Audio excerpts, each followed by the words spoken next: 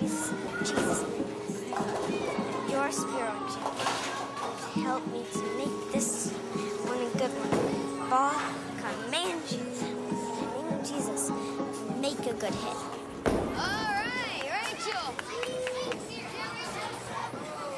This side of it's a ball. Okay. Keep throwing a curve like that.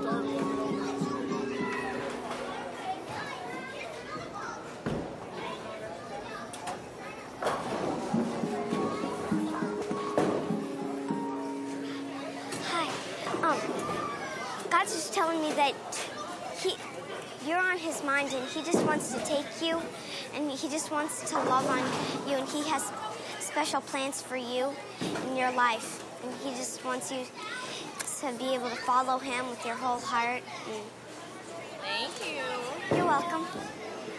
Appreciate it. Welcome.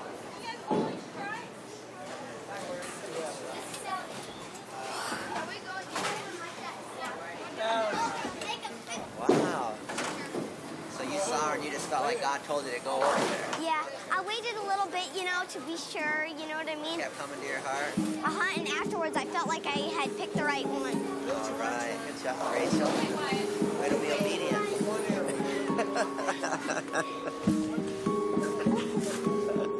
I like bowling ministry. There we go.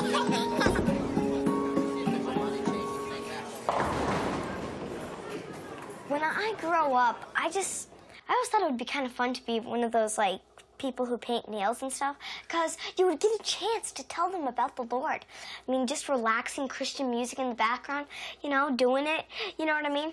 It's, it would just be really relaxing and they would just be able to kind of, they wouldn't have many walls at that second, you know, and they would just be able to accept, you know.